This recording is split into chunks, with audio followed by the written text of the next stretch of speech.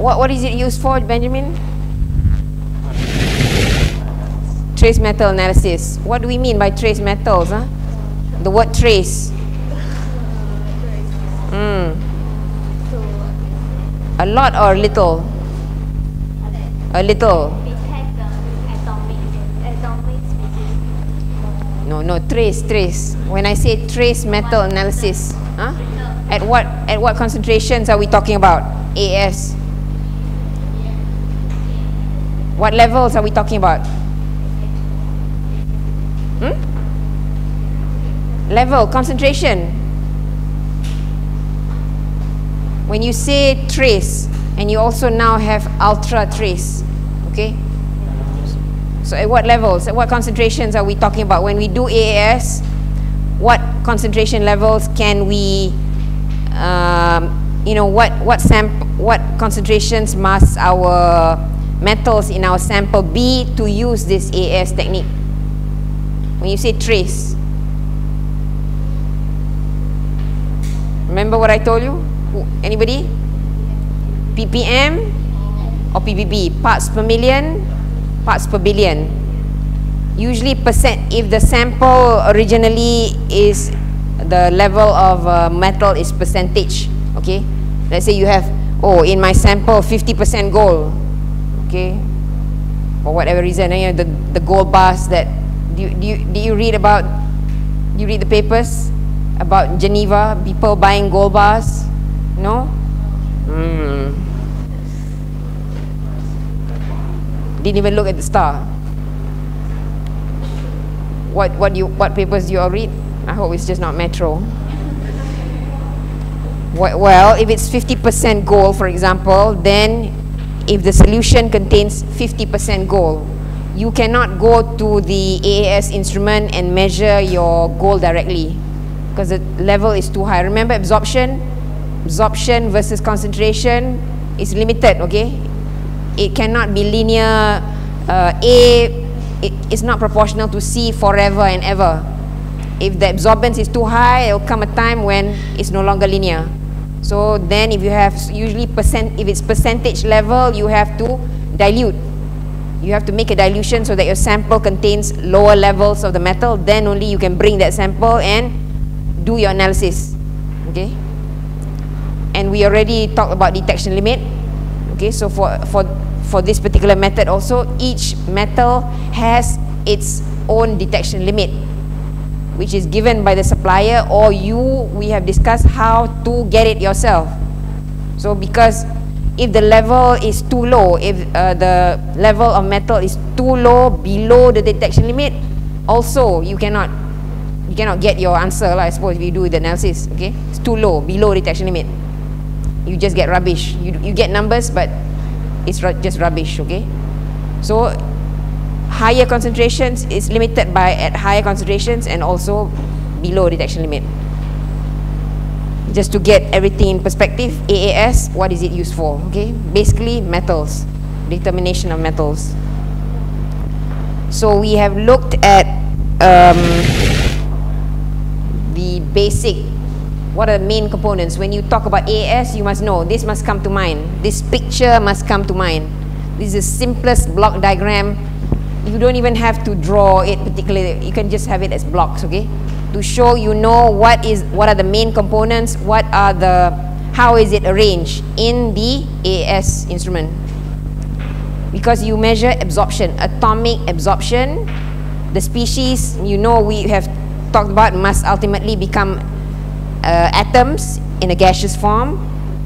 And when you measure absorption you must have a source wavelength selector detector signal processor.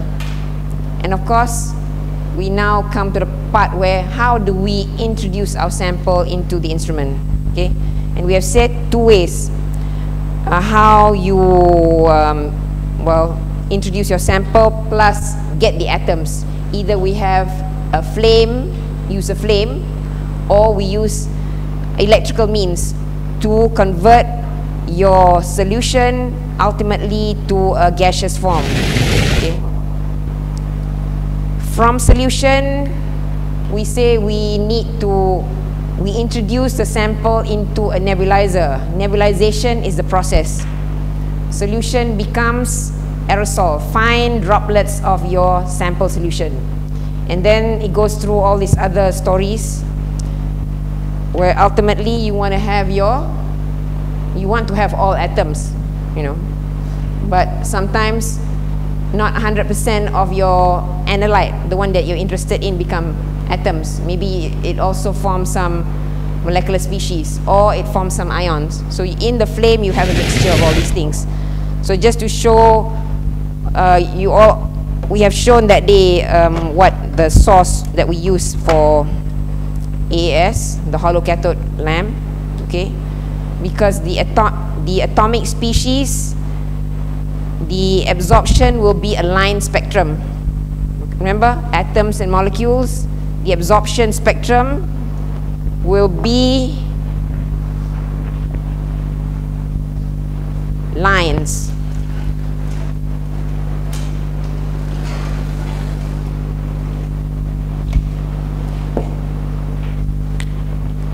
You were to imagine the absorption spectrum, it will be, you know, line spectrum, which we said has a certain width, the natural width or whatever other factors that increases the line width. Plus the fact once it goes through the monochromator also, the slit, the influence of the slit width will also uh, influence the effective bandwidth, okay? But basically you have a line spectrum. The atomic absorption is a line spectrum. So the source used must also be a line source. So these sources, which we will talk about how they work, are uh, specific for specific elements. And we have some multi-elements which we'll again talk about it later on. Okay, so that's the source. Next, we talk about the um, how you want to introduce your sample. Usually, uh, most often AAS, our sample is in solution.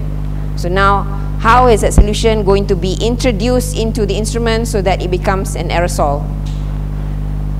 Through a nebulizer.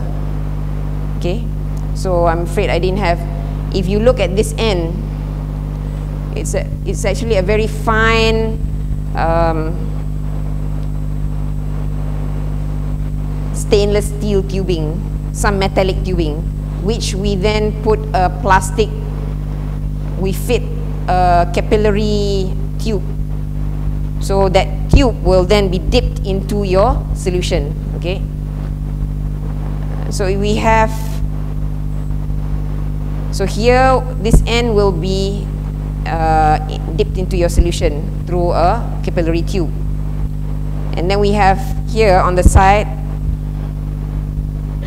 because for your flame, you need, for example, the most commonly used flame is air acetylene. Air provides the oxygen, the oxidant. The fuel is acetylene, C2H2, to burn, okay? So, so it, the flame forms when C, the acetylene burns with oxygen. To produce the aerosol, we don't use the fuel, we use air. So air will be through this hole and it'll come out here as we have said uh, in the last, uh, last class, okay?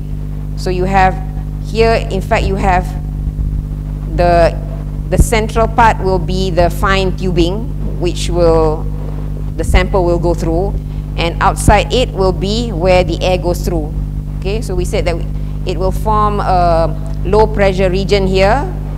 So the atmospheric pressure will then press on your um, solution in your container and will make the solution go up the capillary. As it goes up here, it enters that low pressure region and aerosol will, will be formed. So we will get a fine mist here and uh, the air will be coming at a certain flow rate, okay? So it will be, if, if we, add, we had such a thing, we had some air on, from a tank going through this thing, you will get a spray and you get solution and forming a spray, okay? Fine spray. And we said that this fine spray has a distribution of sizes. Some big ones, some small ones, okay? So that this is the first part. This is the nebulizer. Nebulizer converts your solution to an aerosol.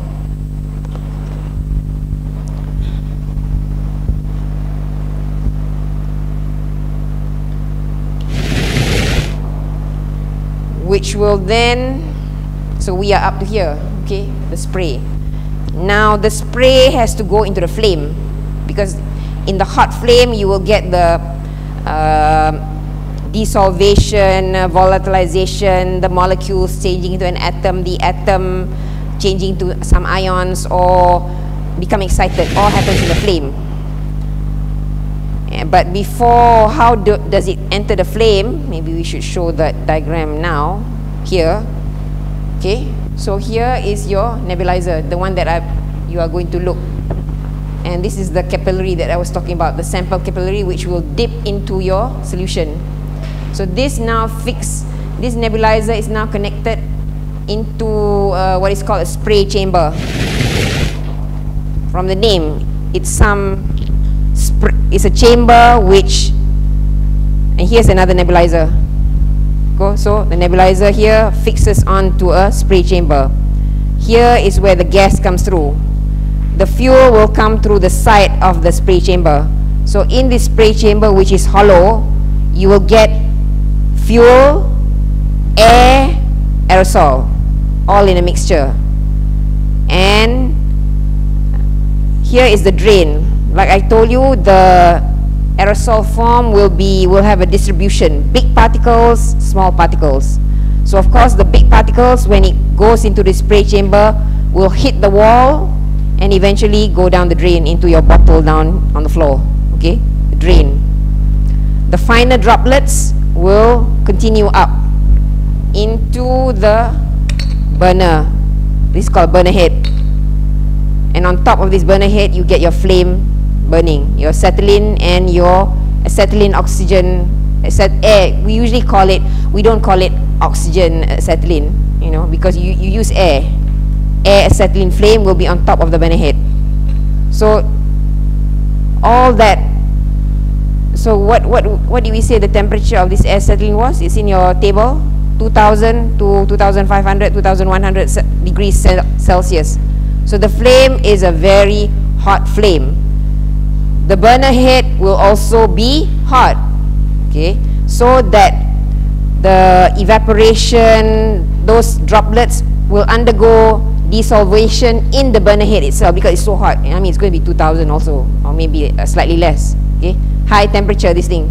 So the droplets will also begin to the solvent will begin to evaporate and whatnot here even before they enter the actual flame. Okay another thing that we want to say is why must you take the proper precaution? When you want to start out and um, ignite the flame uh, you must make sure that you know the air is um, on.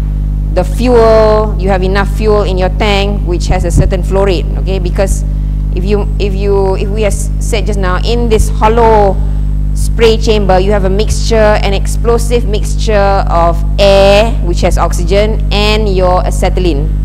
Okay? That is an explosive mixture. If you put uh, if you ignite it in this small chamber an explosion will occur. Okay? Of course when it's burning up there no explosion will occur lah.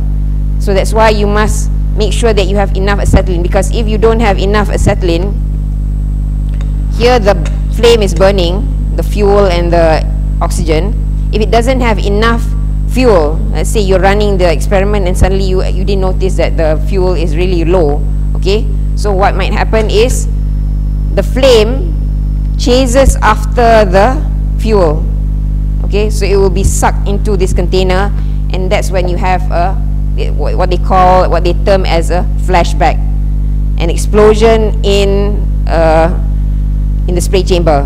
But of course, like I said, there are many safety features now. For example, probably when your uh, acetylene is too low, you cannot even light up the flame, probably. Or, although this one does not have it, the, the spray chamber will have some valves, pop-up valves. So if the pressure becomes too high, those valves will pop out, make a hole, so that the gases can then be released.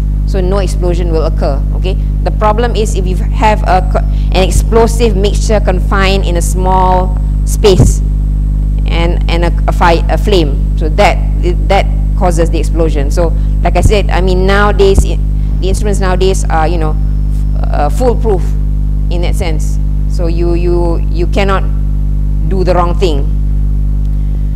For example, if you, if once we pass around this burner head, look at this, how narrow, how small this slit is.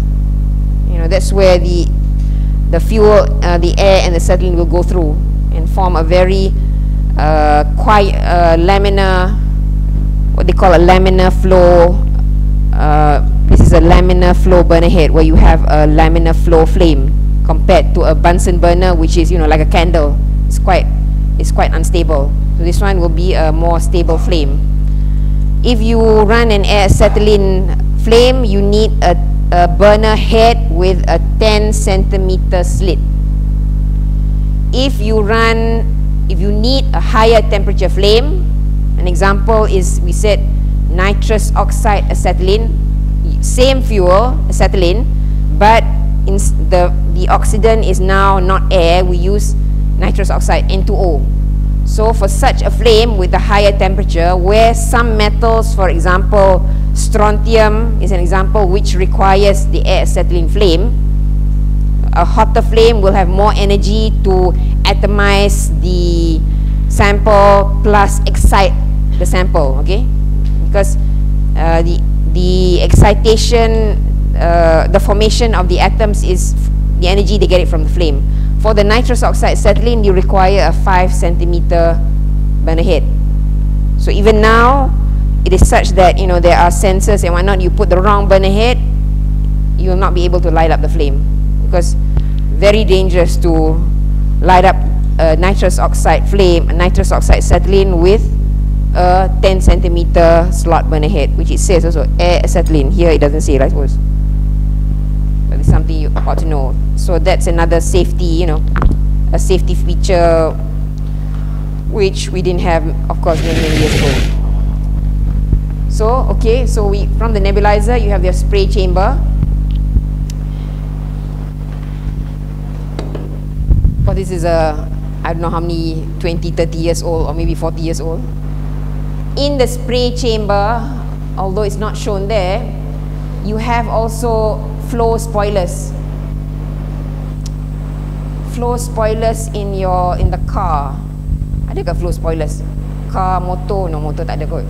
You know, just to it doesn't matter lah. But this flow spoilers is when the aerosol hits these flow spoilers, this is what makes the uh, makes the some of the droplets even smaller or it also prevents the bigger droplets from going up into the flame because the bigger the droplet the more energy it needs to evaporate the solvent etc you know so you don't want the bigger droplets to enter here okay uh, because if uh, you know it might be in the flame uh, and cause some scattering of light and whatnot so you want to get rid of this bigger droplet so one way is by having these flow spoilers. Where is the drain? The drain is here on the bottom of the spray chamber. So the bigger droplets hits the walls, hits the flow spoilers and will go down the drain to waste. So like I said, only about 20% of the of the sample which is which goes through this capillary eventually goes into the flame actually.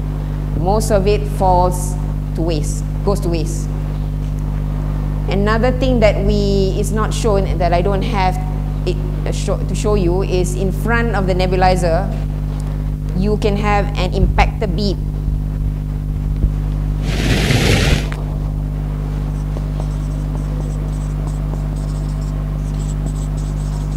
From the name, it must the aerosol will impact the bead.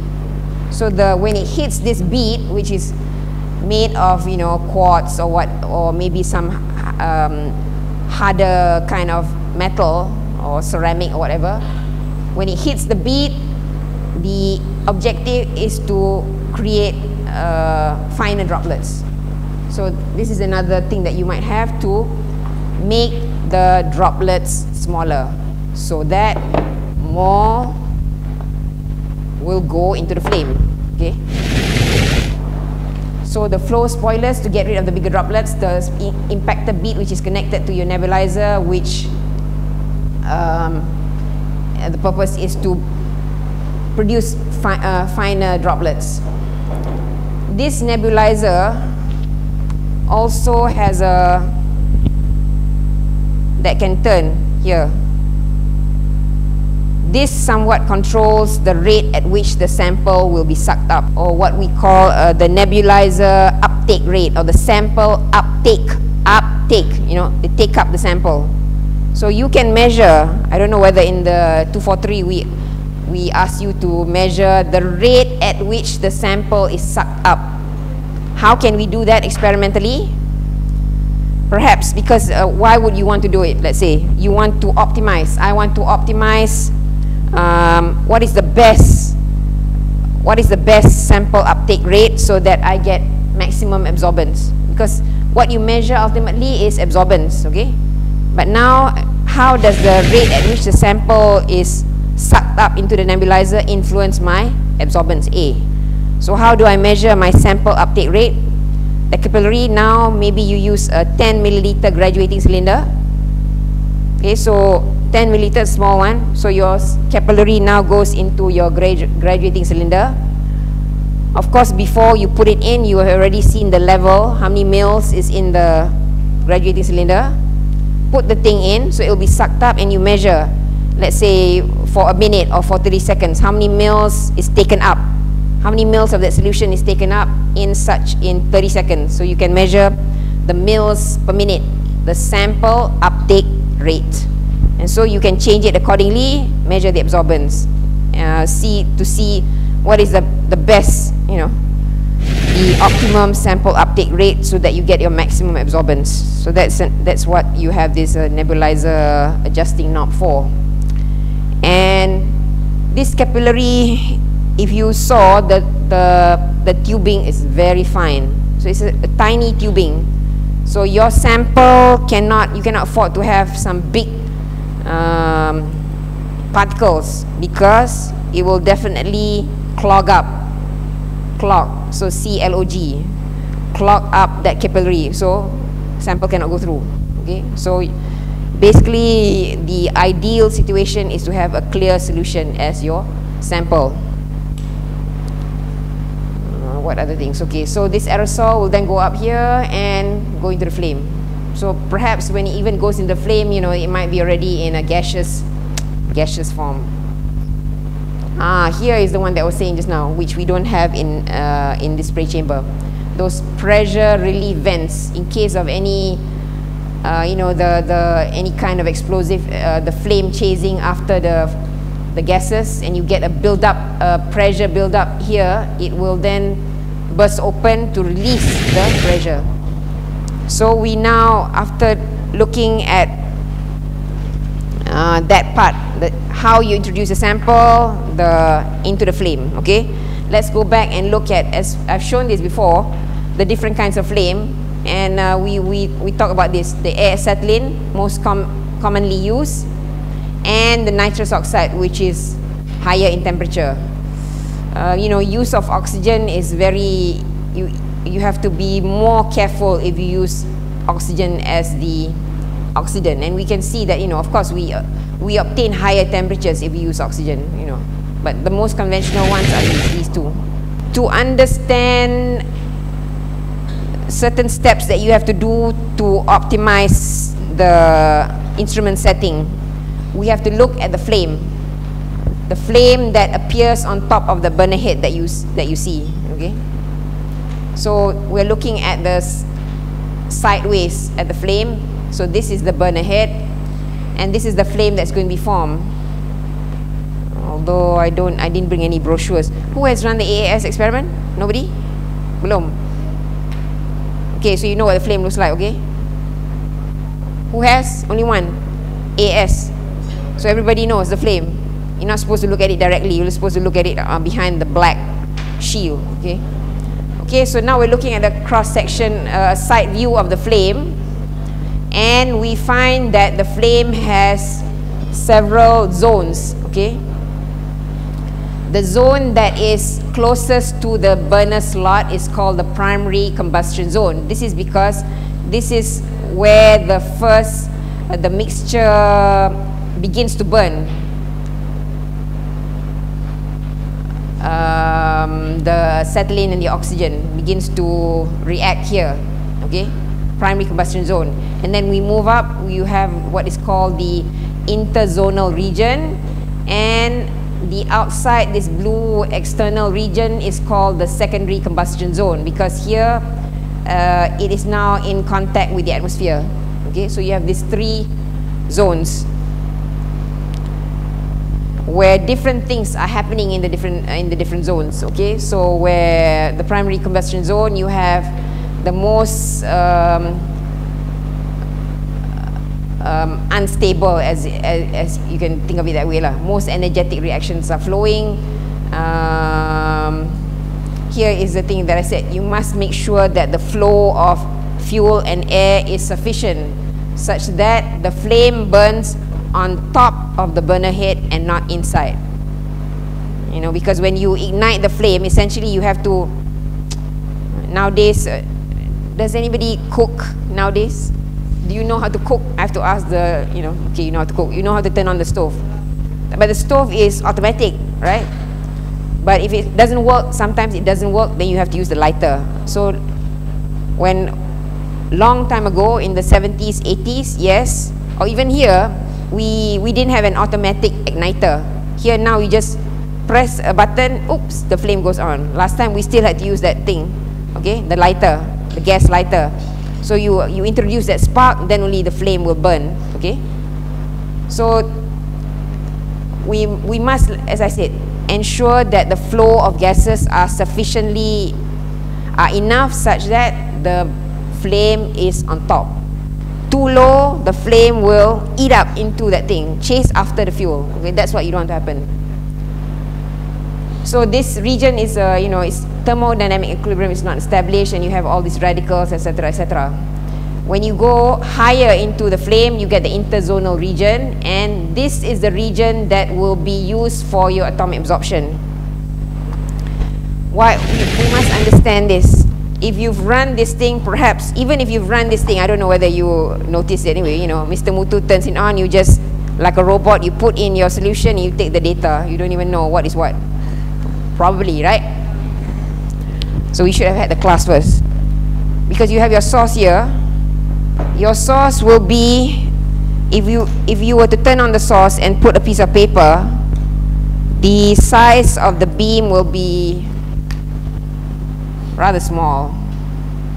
Maybe a centimeter in diameter, one centimeter or even less, okay? Or less. So,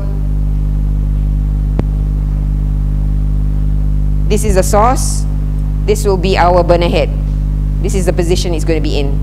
Okay, so the source, the light, you want it to go through the atoms. Remember, atomic absorption. We are measuring how much the atoms that are formed in the flame will absorb the light coming from the source. So this is, imagine this is like a torchlight burn, shining through the flame. Okay, so so you don't want this thing to be here. Why? This thing can move. The source cannot move too much. You can optimize, align the lamp, but the alignment is very, the movements are very little. It's, a, it's the burner head that you can move vertically, horizontally, and rotationally. Why? You tell me why now. We want to measure, remember absorption, what it was?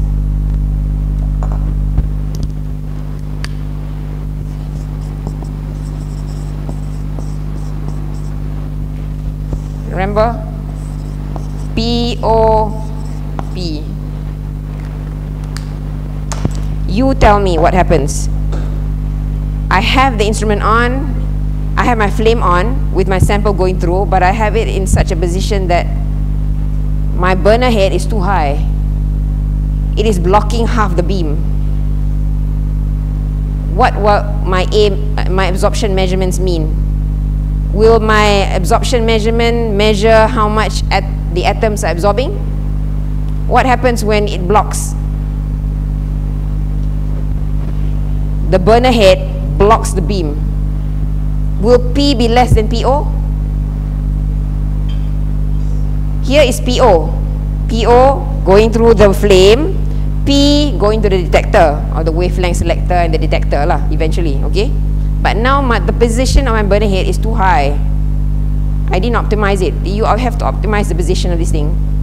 But I had it too high, I'm blocking part of the beam.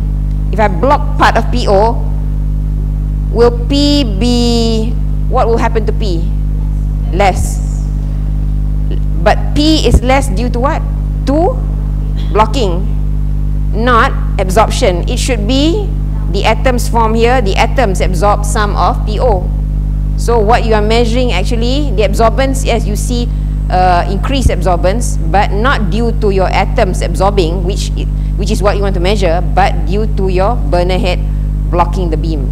Okay, so this is must must be optimized, and it doesn't need some sophisticated pressing the the software to optimize it. It's just that you know you can have a, you have the beam on even before you have the flame on. You can have a, a index card cardboard card. Maybe you all never use index card before also. Index card where you write your notes nowadays, nobody uses such thing. You know, card with lines, may, maybe. So you put it here, cardboard, okay, with lines. So you put it here, and you can see the beam. You can see the, the image of the beam on the card. So from that you can see approximately that you want the beam just about, you know, not really centered here so that the beam is a circle. It's going to be cut into half by the slit. So it's centered and the burner head is not blocking the beam. So you can do that uh, at the beginning okay?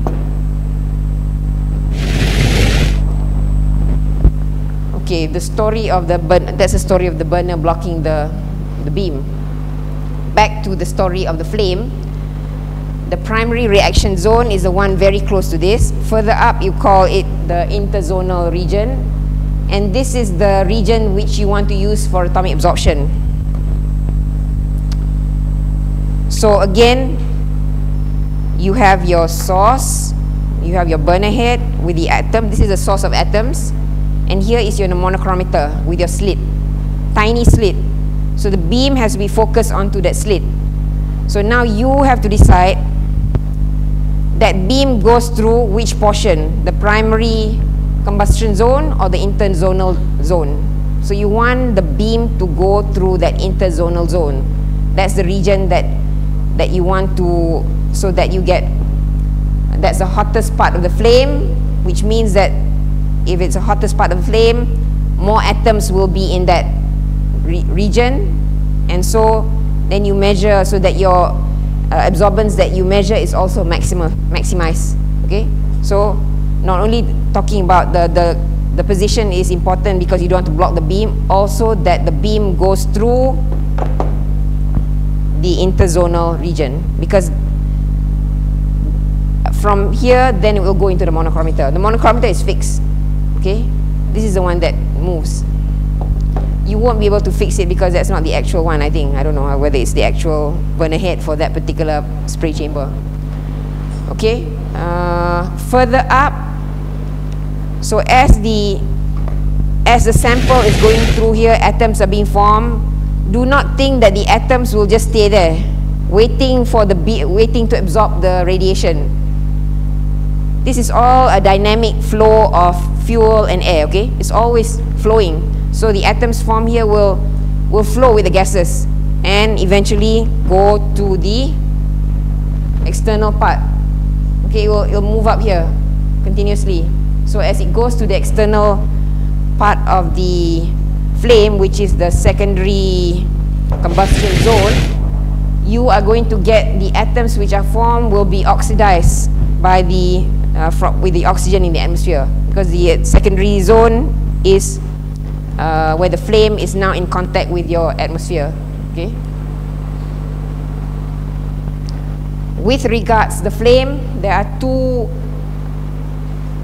terms that you should know, or three rather, because remember what the flame is, you have your C2H2, your fuel reacting with oxygen to form CO2 and water. That's 100%. And so if you, if you were to write a reaction for uh, acetylene,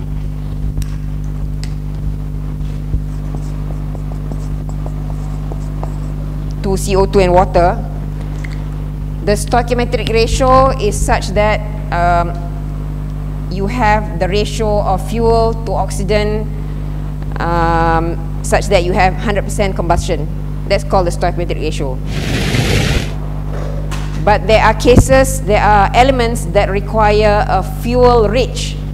Fuel rich means, still you talk about that ratio, fuel rich means you have more fuel than required. If this is one to one, then the fuel rich means you have more fuel, okay, than that stoichiometric ratio. And some elements require lean fuel, it's the other way around. So you have less or more oxygen lah. More oxygen uh, uh, than required to this one-to-one ratio. So lean fuel means less fuel than the stoichiometric ratio. Fuel rich means uh, more fuel than the stoichiometric ratio.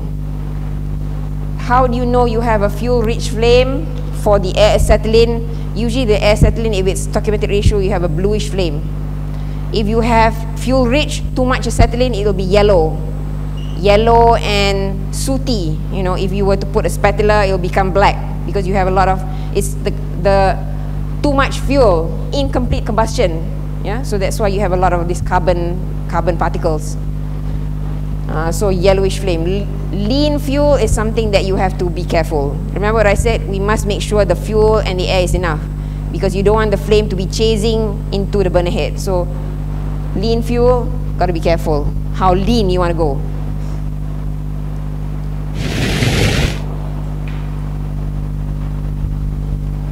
Air propane is lower temperature. That means remember what the flame is for. The flame is to produce those atoms. So for certain elements, the cooler flame, the lower temperature flame is insufficient. You need to go to a higher temperature. So the most commonly used is acetylene, stable, simple to operate, etc., etc. Um, so fuel rich, you have a lower temperature flame, a flame that is more reducing, which may be useful for elements like molybdenum, molybdenum and aluminium, okay, uh, fuel rich. Because perhaps these elements oxidize more easily. You know, I'm sure you, you will study all this in your inorganic. All these elements, their oxidation or their reducing uh, characteristics are different, okay. Some are more easily oxidized than others, etc., etc. So all these factors will uh, come into play as to whether you need a fuel rich or lean fuel or whatever. The more, the hotter flame that is more uh, conventionally, if, if you require a hotter flame, will be the nitrous oxide acetylene. This one has a red interconal region, so it's not going to be just a blue flame. That's like a red. You call it a red feather. You know, it's in the in in in the middle of the flame. There's a red feather higher temperature, uh, so it will um, increase dissociation. So these are some of the elements that you would want, you need nitrous oxide acetylene. Must be operated with care. How do you light up the nitrous oxide acetylene? You know when you, one of these elements, you know you need to use nitrous oxide acetylene. But you do not light it up as a nitrous oxide acetylene you go through the air acetylene first. So you light up air acetylene, and then there'll be a, a, a whatever a thing that you press or whatever that will switch over air to nitrous oxide. So you have all your piping into your instrument, but you light up the air acetylene, and then when you, you switch over, it will switch from air to nitrous oxide. Then only you have your nitrous oxide acetylene. So you light up through air acetylene when you want to shut down your nitrous oxide acetylene flame, also through the same way. The nitrous oxide will switch over to air, so you get an air acetylene. Then only from air acetylene you shut down. You uh, you know turn turn off the flame. Okay, always that's the procedure for nitrous oxide acetylene. Because this flame, if we look at the table that we were giving the this one, nitrous oxide and uh, acetylene, air acetylene. Look at this um, burning velocity. burning velocity is the velocity at which that flame eats up, you know, the fuel and the oxidant. So if you compare the acetylene, the, the burning velocity is 158 to 266. The nitrous oxide acetylene, the burning velocity is a lot faster. So that's why I said you have to be careful about the nitrous oxide acetylene. You can uh, never run it fuel lean, which means not enough fuel. Not enough fuel, the flame is a very fast burning flame. It will, you know, quickly burn into your thing and cause some unnecessary flashback. And another thing about the nitrous oxide acetylene, it forms uh, a lot of carbon. As you're burning the flame, you know, um, it forms carbon deposits. So you might have to, you know, you have only a five centimeter slot. So you don't want it to be, you know, if you are not careful and you don't clean your burner head, and this fine slot, you don't take a brush to clean it, okay? No such thing, okay? Uh, the to scrub your pots, right? Okay, scrub it, make it clean. No, very fine slit. You don't want any jaggedy slits there, okay? You put it in an ultrasonic uh, sonicator, you know, ultrasonic uh, uh, bath to, you know, finely so that all these things, dirt, dirt and whatnot comes out. No, no, no scrubbing, okay? So again, back to the nitrous oxide acetylene is 5 centimeter, a lot of carbon deposit, so you must clean up. During, during as you are burning, you should clean up. If not, you know, you don't notice it oh you are left with such a small slot okay neither do you want to you know oh use your spatula and cover up you know. Something to be special care special loving care when you run nitrous oxide acetylene. But I'm not trying to scare you because like I said nowadays the instruments are nothing like what I had I was faced with. All this safety precaution you know no problem. But you know if you if you act like a clown and just do things all the wrong ways, of course, you might get into problems. Um, as I said, it's not a light up with that, make it very rich, fuel rich, and then switch over. Even this, you don't have to do manually. Uh, initially, in the 80s here, we had to switch from air to SN. Now you don't even have to do that, I think. I mean, it's just a button that you press or something, or you in the software, you know. So running this, you will, you shouldn't be feeling uh, all your butterflies in your tummy because that's what I had when I had to run this thing because everything was manual. You switch manually, so you must make sure air acetylene is burning a lot of air, then you switch over. And then you do, you do the same thing, and then you make sure that you, you do not want to have a flashback with a nitrous oxide acetylene flame. now we, we were saying something about just now the different zones. Now we look at uh, the different zones with respect to temperature, okay? Uh, the last thing that we'll look at, I suppose. Okay, so now this is again the burner head. This is where the uh, air acetylene comes up. And we look at the, the temperature profiles. The highest temperature is here. So in the interzonal region, okay? The primary reaction thing is below, is lower temperature. And the ex the secondary the secondary combustion zone also is lower temperature so here you want to focus your exit slit of your monochromator so that it is somewhere here maybe. But this is something that you can optimize. So you change your burner head change your position of your burner head zero. Take the reading. Change your burner head again put your distilled water zero. And then put in your sample measure again.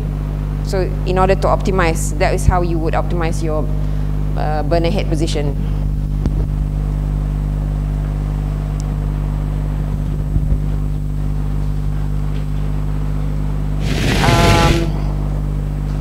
We are showing here the absorption or absorbance. Absorbance is A, okay?